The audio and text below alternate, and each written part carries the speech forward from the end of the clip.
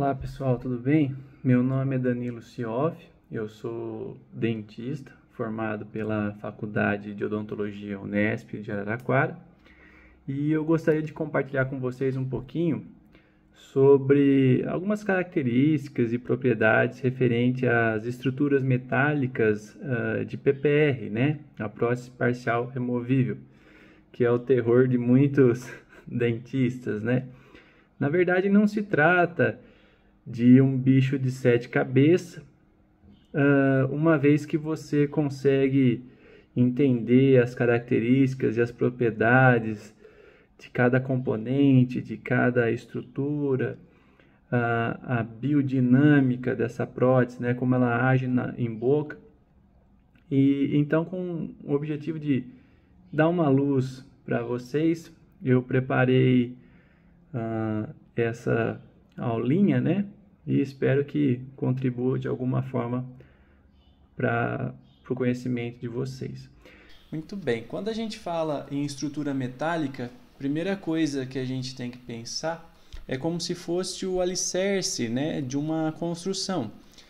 Assim como no alicerce de uma, de uma construção, ele é responsável por toda a sustentação dessa, de tudo que tem da, do chão, né, do terreno para cima, a estrutura metálica ela é responsável por sustentar tudo o que for uh, ela todas as estruturas que ela for recriar, né, no caso os dentes ausentes.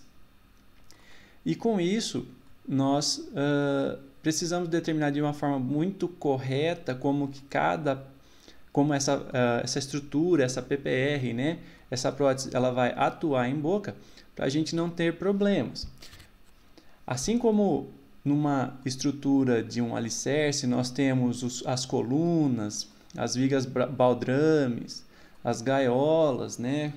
Como a gente pode ver aqui, ó, gaiola, tem, tem coluna, tem, pil, tem coluna uh, subterrânea, tem viga baldrame, tem as colunas que vão estar acima né, do, no nível do terreno. Depois a gente tem as vergas, contravergas. E ao final de uma estrutura bem planejada, a gente tem uma arquitetura muito bonita, né, com um resultado satisfatório. A mesma coisa acontece com uma PPR. E da mesma forma, se for mal planejado, né, uma estrutura, um alicerce de uma de uma construção, nós vamos ter falhas, ó, que nem aqui nós temos uma coluna que entortou, nós temos rachaduras nessa construção, nós temos colunas de pontes, por exemplo, que estouraram provavelmente por um erro de cálculo ou não conhecimento de como que essa estrutura funciona. E mais uma vez a mesma coisa acontece uh, com as estruturas dentais. Uma vez que a gente planeja uma PPR, né, que é uma prótese que vai devolver uh, dente, um dente ou mais dentes, geralmente vários dentes perdidos, que serão apoiados em, nos dentes remanescentes. Tá? E muitas vezes esses dentes uh, já têm algum certo comprometimento, ou mesmo não tendo comprometimento, se essa PPR formal planejada, ela vai levar à perda do, do elemento, seja porque o elemento veio a se fraturar por excesso de carga, ou até mesmo perda óssea ao redor do dente pilar, devido à sobrecarga ou má uh, adaptação da prótese, uma estrutura que foi planejada com apoio de forma errada, não obedecendo as uh, a sua devida posição e por aí vai, tá? Então, com isso, a gente uh, precisa conhecer certinho cada componente, cada característica desse componente, como ele atua, para evitar que a gente tenha defeitos na prótese e venha pôr a culpa na prótese, falando que a prótese que é o problema, tá? Muito bem. Então, como nós vemos aqui, né, a estrutura metálica é o alicerce da prótese parcial removível. Se a gente tiver uma estrutura metálica problemática, tudo que vier em seguida vai ser problemático também, assim como o alicerce de uma obra. O que eu gostaria nesse, nessa aulinha era conversar com vocês uh, de forma que a gente respondesse algumas perguntas, né? Dentre elas, qual é o material utilizado, né? Então, digamos que o paciente chegou para você e veio questionando, doutor, mas a gente vai pôr essa prótese, do que, que ela é feita? Você precisa saber. É a mesma coisa que você chegar para um engenheiro e perguntar para ele, viu, essa coluna aqui que você vai fazer minha casa, ela é feita do que? É concreto, é concreto e ferro, vai ser que ferro? Que diâmetro de ferro? Vai ser quatro uh, ferros só? Vai ser, vai ser um pilar com três ferros? Ele vai ter, ele vai ser estrivado a cada 10, a cada 5 centímetros, tá? Então a gente tem que conhecer justamente para passar confiança para o nosso paciente e também reduzir a chance do nosso erro, tá bom? Quais são as partes que compõem essa estrutura? Ah, ela é formada por apoio oclusal, grampo de retenção, grampo de oposição, a gente tem que saber os nomes dessas estruturas, né? Passar confiança para o paciente. Não adianta eu falar, ah, ela vai ser uma estrutura metálica, tem umas garrinhas assim que pega na parte da frente, na parte de trás e tem um, um triângulozinho que fica em cima do dente. Gente, é, nós somos profissionais da área da saúde, temos que passar uh, confiança, né? Qual a característica de cada estrutura? Bom, nós temos apoio oclusal. Como que ele é? ele vai ocupar toda a superfície do dente, ele vai entrar por vestibular, por lingual, e o grampo de retenção, ele é na vestibular, ele é por lingual. Como que ele é? Todo ele é rígido, todo ele é semi-rígido ou ele é todo flexível? Qual a função de cada parte? Então, tá, doutor, mas tem tanta garrinha, não pode tirar, isso aqui incomoda. Não, se você souber a função de cada parte, tem um porquê e o paciente entendendo por que ele aceita, tá? Então, ah, por que, que tem esse grampinho aqui na frente do meu dente? Não tem como tirar isso porque é feio. Não, não tem. Ele é um grampo de retenção, tá? Ele que vai reter a sua prótese. Ah, e esse triângulozinho aqui em cima? Para que, que ele fica em cima do dente? É feio. Não, esse aqui é o apoio. Ele tem a sua função, tá bom? E a gente precisa saber a função de cada uma dessas estruturas. Como desenhar uma estrutura metálica? Não adianta a gente saber só as características e como funciona cada uma se a gente não souber onde colocar, né? Como desenhar, até onde vai esse componente, até onde vai esse grampo de retenção, esse grampo de oposição, esse retentor indireto, esta cela, tá? Como confeccionar Assim que a gente souber cada característica, como funciona, quais são os componentes, como desenha, logo em seguida a gente precisa entender qual é o processo de confecção dessa estrutura, né? E por fim, como ajustar, né? Todo o processo, toda a parte uh, da reabilitação em odontologia, ela passa por etapas uh, suscetíveis a falhas. Por quê?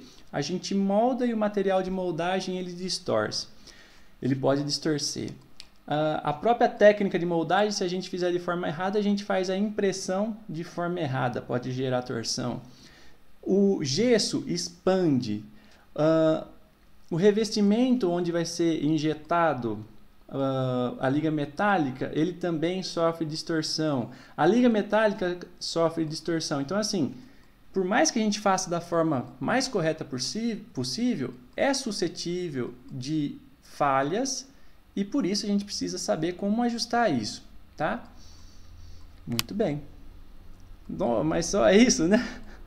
Só esse pouquinho de coisa que a gente precisa saber? É, pouquinho. Se for parar para pensar, é pouco, tá, gente? Porque se vocês dominarem isso aqui, praticamente vocês resolvem de 80 a 90% dos problemas que uma PPR pode ter, tá? A parte mais difícil de uma PPR é você acertar a estrutura. Mas fiquem tranquilos que é só isso, tá? Para a gente começar a falar um pouquinho sobre a parte de estrutura metálica, a gente precisa primeiro uh, lembrar um pouco da classificação dos arcos, né? Isso vai ajudar a comunicação entre você e o protético ou entre colegas mesmo. Às vezes você está com um caso um pouco mais complexo, você quer conversar com algum colega, você precisa falar de forma que ele também vai entender, né? Então vamos lá. Quando a gente tem arcos parcialmente desdentados, existe a classificação de Kennedy, que ela se baseia o ponto de referência dessa classificação é a região posterior. Guardem bem essa informação porque isso é importante, vocês já vão saber. Então, a classe 1 de Kennedy, ele classificou como sendo classe 1 todo o arco desdentado bilateral de extremo livre, tá? Assim como está aqui na nessa figura à esquerda, né? Nós temos um arco que ele é desdentado bilateral de extremo livre, tá? Isso classifica um arco de classe 1 de Kennedy. Já o arco classe 2, ele é um arco desdentado posterior de extremo livre unilateral. O outro lado, como vocês podem ver aqui, ele tem os dentes.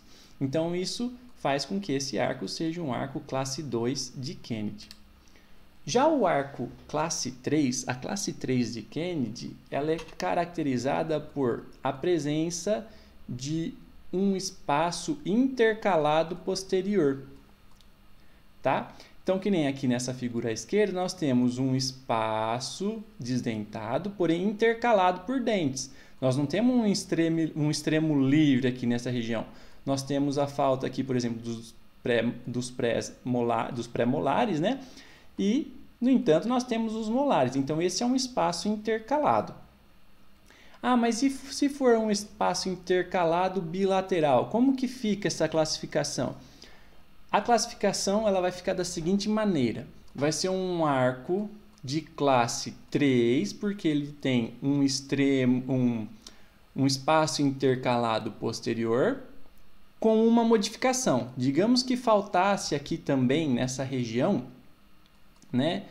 Uh, esses dois pré-molares aqui. Então seria um, uma, uma classe 3 tá? Por quê? É um espaço intercalado posterior, mas tem um outro espaço intercalado. Então ele fica classe 3, modificação 1. Ou seja, ele é um classe 3 porque tem um espaço intercalado posterior e modificação 1 é porque existe mais uma mais uma área uh, intercalada, né? mais um espaço desdentado intercalado uh, presente nesse arco.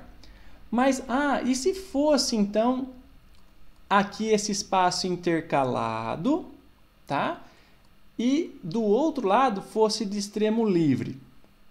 Vai ser classe 3 modificação 1 também? Não, não vai. Por quê? A classificação de Kennedy, ela leva em conta, você tem que levar em conta o seguinte, ela leva em conta a menor classe. Então, vamos lá. O que seria isso? Uma vez que a gente tem um, tivesse aqui um espaço de extremo livre nesta região aqui, e esse espaço intercalado nessa região, se eu falasse que esse é uma classe 3, modificação 1, tá errado por quê? Porque eu poderia classificar esse arco como uma classe 2, porque ela é de extremo livre unilateral, com modificação 1. Entenderam? Então assim, a gente, o que vale é a menor classe. Não sei se deu para entender, qualquer coisa vocês deixem no comentário aí. Mas, mais uma vez, sendo que esse arco ele poderia, faz de conta que aqui na esquerda a gente tem um espaço uh, de extremo livre posterior. A gente não classifica como classe 3 modificação 1, sendo que tem um espaço intercalado aqui, porque vale a menor classificação possível. E para um arco desse tipo, a menor classificação seria classe 2, porque seria de extremo livre aqui na esquerda, né? Então, extremo livre unilateral é uma classe 2 e tem mais uma área isentada. Então, modificação 1, tá? Deu para entender? Se não deu para entender, Deixa no comentário aí que a gente tenta resolver depois, explicar melhor, melhor de uma forma que dê para entender. E a classe 4, ela é o que? É o espaço intercalado que cruza a linha média, tá? Se fosse qualquer espaço intercalado que não cruzasse a linha média, seria uma classe 3, tá? Que nem aqui, ó, nós temos nessa classe 3 aqui na foto da esquerda, é uma classe 3, porque é um espaço intercalado, porém não cruzou a linha média. Já na classe 4, a gente tem um espaço intercalado que cruzou a linha média. Então, ele passa a ser classe 4.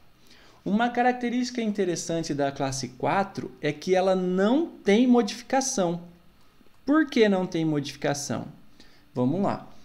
Aqui nós temos então uma classe 4, uma, um espaço intercalado que cruzou a linha média. Ah, mas e se faltasse aqui ó, esses dois molares? Se faltasse esses dois molares, isso automaticamente vira uma classe 2, porque tem um extremo livre unilateral com uma modificação, né? que é essa, essa outra área edenta aqui. Então, qualquer coisa que começar a acontecer na região posterior já não vai ser classe 4, mesmo tendo um espaço intercalado cruzando a linha média. Porque na classificação de Kennedy, o ponto de partida, o ponto de referência é a região posterior. E também deve valer a menor classe, possível. Sendo, então, classe 4 tem que ter os dentes posteriores e um espaço intercalado cruzando a linha média. Se faltar qualquer coisa aqui, faz conta que faltou esse pré-molar aqui, ó, na direita. Faltou esse pré-molar. Essa classificação, esse arco passa a ser uma classe 3, independente do tamanho da área intercalada, né, do espaço edento aqui, que estiver cruzando a linha média. Por quê? A referência é a região posterior. Faltando um dente aqui na região posterior, por exemplo, aqui, seria um espaço intercalado, certo? Posterior, com uma modificação, ou seja, mais uma área edenta. Deu para entender? Qualquer coisa, vocês mandam pergunta aí que a gente responde, tá bom? Muito bem, sabemos agora como classificar os arcos. Agora a gente precisa saber, como eu já havia dito, de que material é feita a estrutura metálica né? É níquel cromo, é cromo, cromo cobalto, é titânio, do, do que que é? A estrutura metálica de PPR ela é feita com uma liga de cobalto cromo, tá? Essa liga, ela inicialmente foi utilizada na indústria de carro, né, automobilística, depois na parte da aeronáutica e também aeroespacial.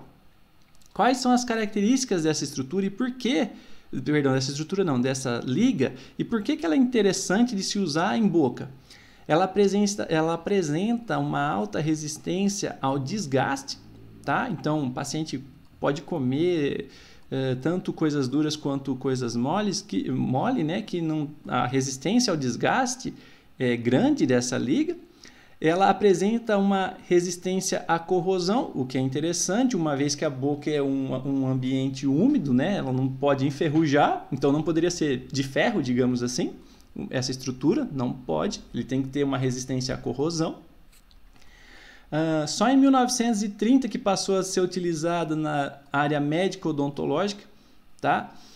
Uh, tem biocompatibilidade, o que, que seria isso? Ele tem que ser um material que ele é inerte, ele não causa nada em boca, ele não vai afetar em nada no seu sistema, no sistema uh, não vai causar nada sistemicamente no paciente. Ele é inerte, ele estando lá ou não, não causa nada. A liga em si, tá? Então ele não é tóxico, não causa alergia, não causa nenhuma mutação, não causa câncer e não interfere né, na fertilidade. Então, não é porque que a pessoa está usando uma PPR que tem uma liga de cobalto cromo que ela vai ter a chance de se tornar estéreo ou ter câncer. Isso não tem nada a ver, tá bom?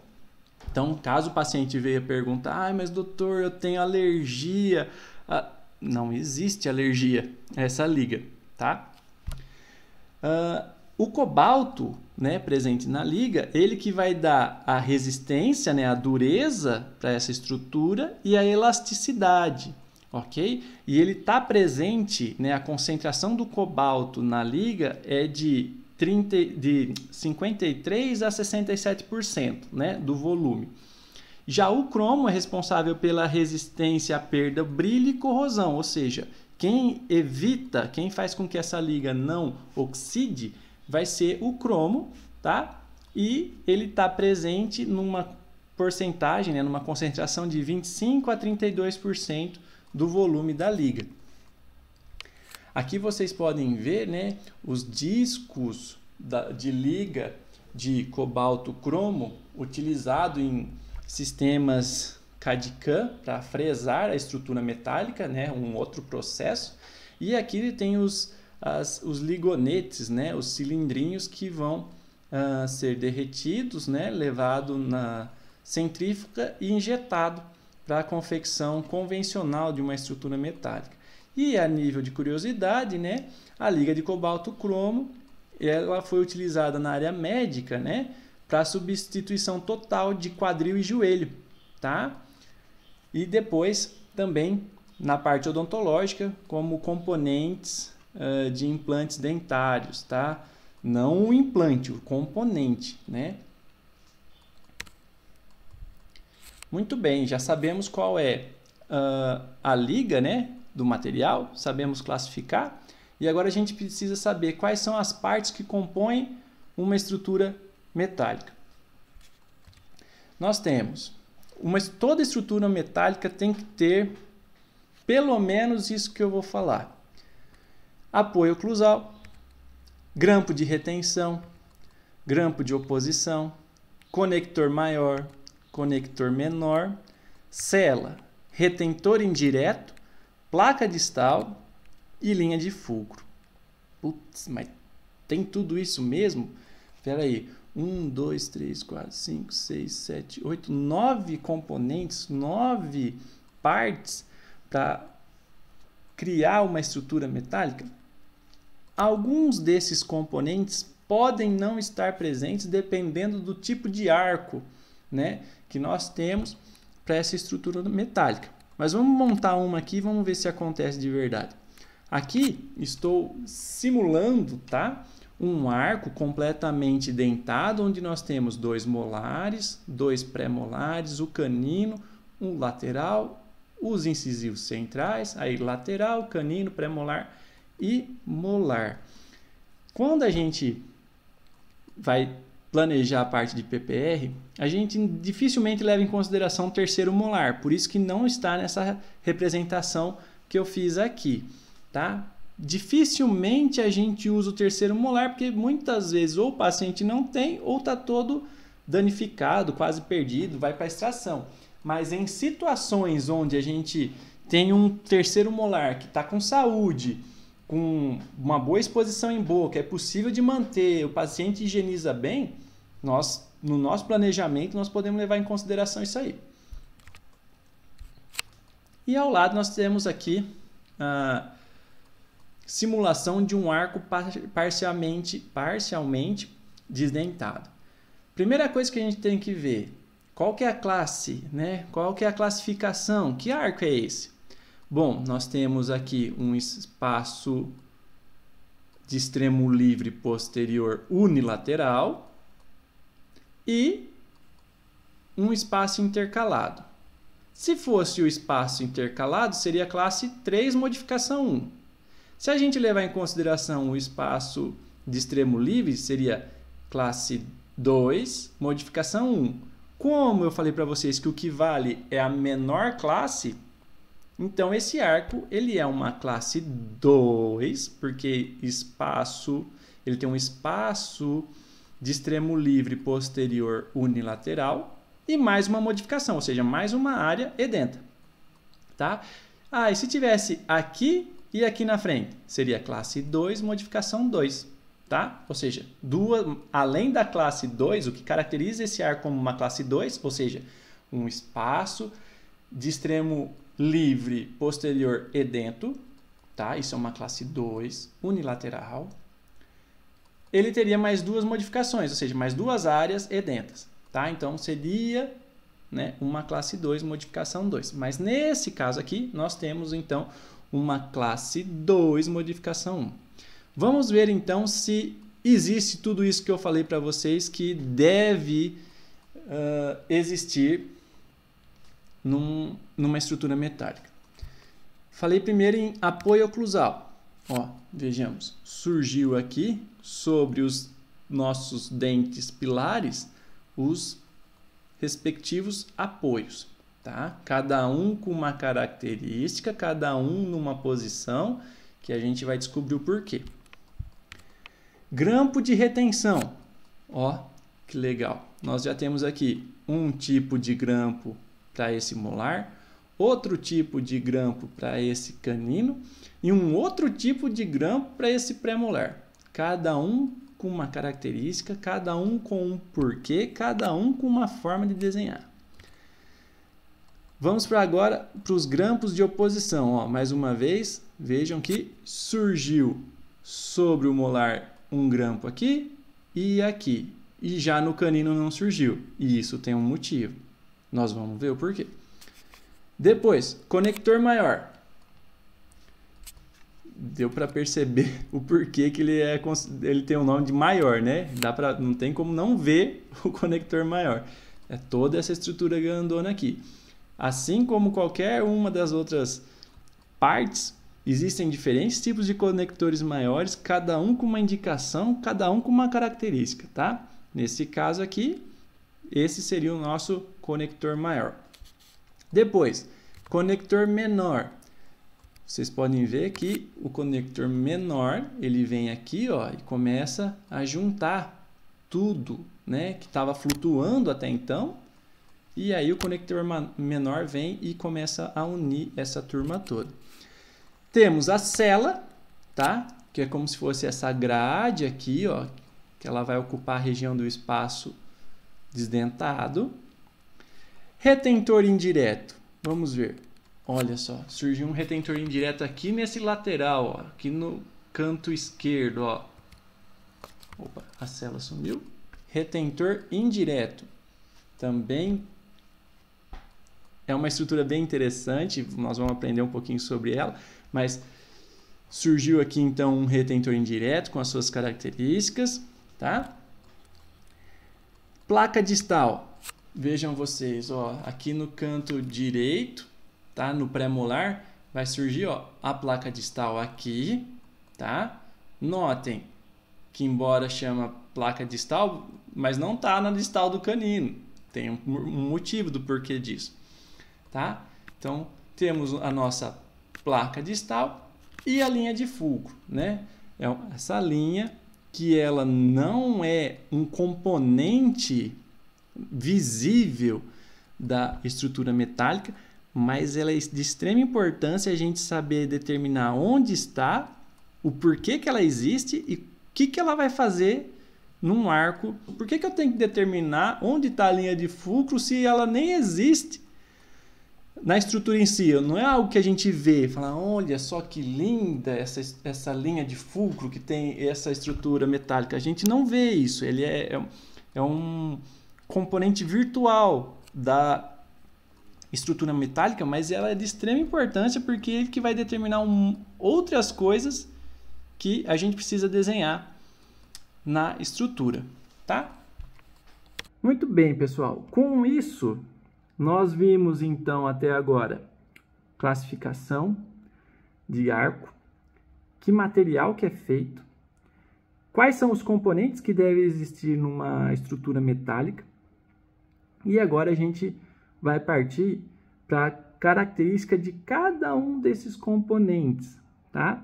E também nós vimos, né, como eu mostrei logo de início, o porquê saber disso, né? A gente tem que mostrar o domínio, o porquê. Imagina um paciente chegar para vocês e falar assim: Olha, doutor, eu fui no, já um monte de dentista e eles fizeram. Ele, ele, ele mostra assim para você: ó, um monte de PPR que já fez. Foi nenhuma funciona. Aí você começa a pegar uh, as, essas PPRs e começa a analisar, geralmente falta componente, tem componente que era para estar tá num lugar, está em outro, tá? Uh, tem coisa que nem deveria ter, mas tem, tem coisa que deveria ter e não tem, tá? Tem coisa que até poderia existir, mas não está no lugar errado. Então, assim, não é, maioria das vezes não é por falta de fazer. Fazer PPR você molda, manda pro protético, às vezes ele tem um certo conhecimento já, né? Ele faz para você, mas gente, quem determina a estrutura é o dentista. O dentista que sabe como que isso ele deve saber, né? Como isso vai agir em boca, tá? Que dente, como é que estão? Porque o protético ele recebe o gesso. Tá? Ele não, o gesso está todo duro, ele não sabe se tem dente aqui mole, se não tem, se em cima tem algum dente, espaço com algum dente danificado, se não tem, se é coroa metálica, se é coroa em porcelana, ele, ele recebe o gesso, tá? E cabe ao profissional odontológico saber como que comporta cada, cada estrutura, cada característica, cada componente, como deve ser tudo, tá? É a mesma coisa que você mandar fazer uma casa e depois essa casa dá algum problema e você querer culpar o pedreiro. A culpa não é do pedreiro. Se deu algum problema na estrutura da casa, a primeira pessoa que você tem que ir atrás é do engenheiro. Ele que estudou para saber, né? Ah, mas o, o pedreiro fez errado. Sim, mas cabe ao engenheiro ter fiscalizado e visto se o pedreiro fez da forma correta tá? Muito bem, pessoal. E aí, então, vamos deixar para próxima. A gente começa a falar, então, a característica de cada componente, tá? Porque é uma parte um pouco mais longa, mas acredito que nessa introdução já tenha surgido algumas dúvidas. Fiquem à vontade para perguntar a qualquer momento. Estou à disposição. Quem quiser uh, se, me seguir no Instagram, eu posto várias coisas lá, muita coisa sobre PPR, sobre a parte de implante, a parte de adesão, isolamento absoluto, tá? A, a função, a ideia desse Instagram é justamente ajudar vocês, caso tenha alguma dúvida, e uh, trazer alguma novidade, alguma técnica que venha facilitar o dia a dia. Tá bom? Desde já, muito obrigado e espero vocês até a próxima aula.